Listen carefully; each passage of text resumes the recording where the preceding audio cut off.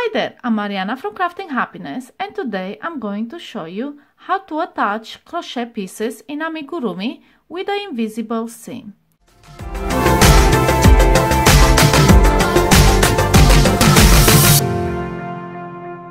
And what I mean by invisible seam is that you won't be able, no matter what color the yarn is, you won't be able to see the stitches and the pieces uh, attached look like one continuous piece.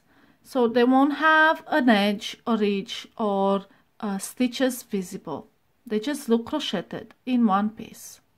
For this tutorial I'm using the pig's head that I've been making for the pig baby blanket and um, I'll show you how to sew the ear onto the head. I've already done this one uh, and now uh, we're going to move to the second one. And the first thing you do when you attach pieces in amigurumi is to pin them in place uh, just to make sure you are happy with the location. So I already pinned my ear um, like so. I was happy with the uh, placement and now we're going to sew around the ear and attach this piece securely. So let's start from this corner and um, I showed you before how to attach pieces um, but before um, I like to uh, leave a ridge around this so the piece will look like it was placed on top not part of. Uh, in this tutorial I'll show you how to seamlessly sew them so it will look like this like it was part of the head so you, it doesn't have um, um, a ridge around. So start by inserting uh, your hook right where the ear touches the head and insert it under. And then we are going to insert it in between the stitches of the ear. So it's going to be right there. The this uh, loop right here. And then back into the head and underneath the stitch.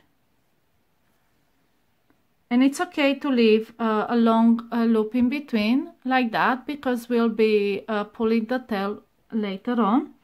And now we're going back where um, the next stitch is and underneath so we are leaving these uh, stitches untouched. We are going in between the first row stitches like so.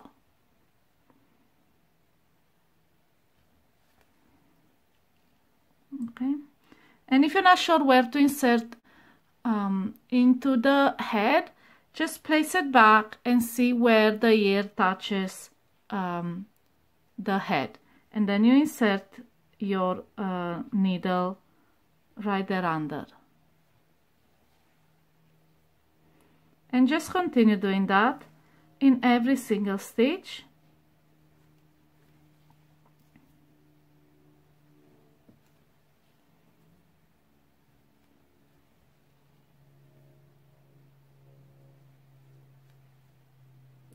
And when you did a few stitches just pull uh, the tail the yarn and you'll see how the stitches disappear.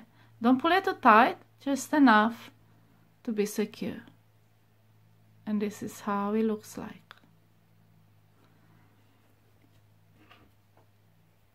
So let's finish this side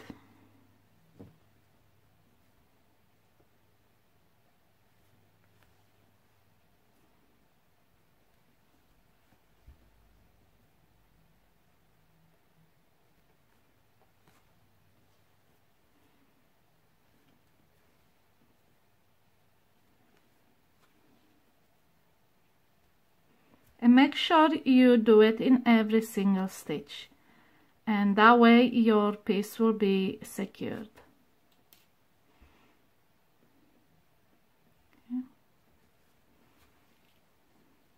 Again tighten up the stitches. Let me show you just like that. You see how they disappear? That's it.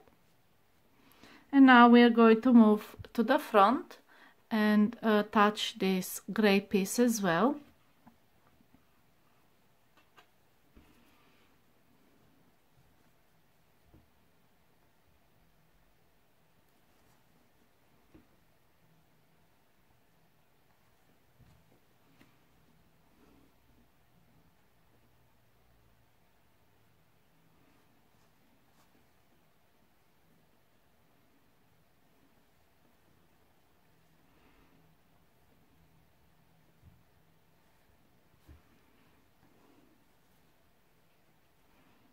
and again it goes in between uh, the first row uh, stitches right there.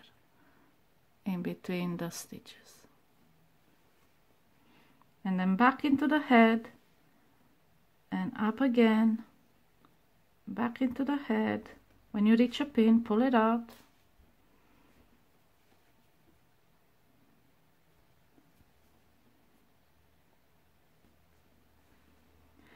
and uh, it really doesn't matter what yarn you're using because um, this yarn won't be visible.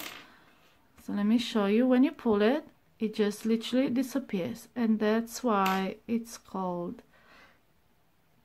invisible stitch. And you won't be able to see it. And that's how you attach the ear so let's finish it up and I'll show you how it looks like at the end and how uh, to uh, position the ears so they can they will look like pig ears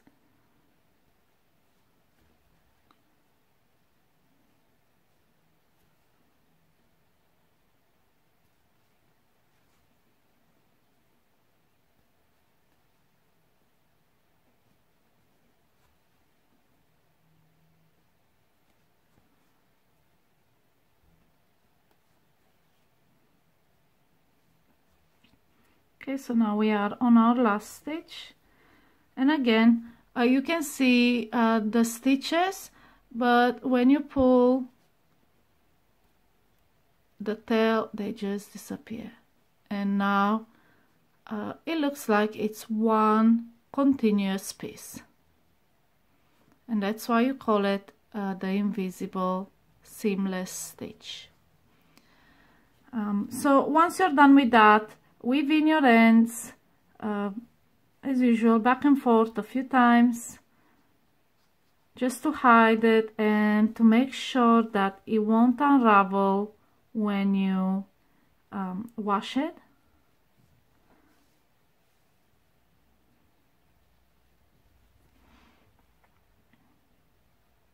So let's do that really quick. And then what I do is uh, just push the yarn into the head. And underneath. And cut the excess off. And then there are, this is how the pig ears look now.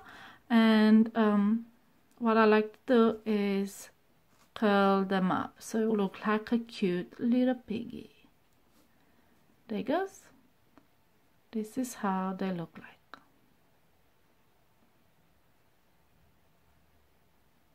And this is how you attach pieces in amigurumi with an invisible seam. Happy crocheting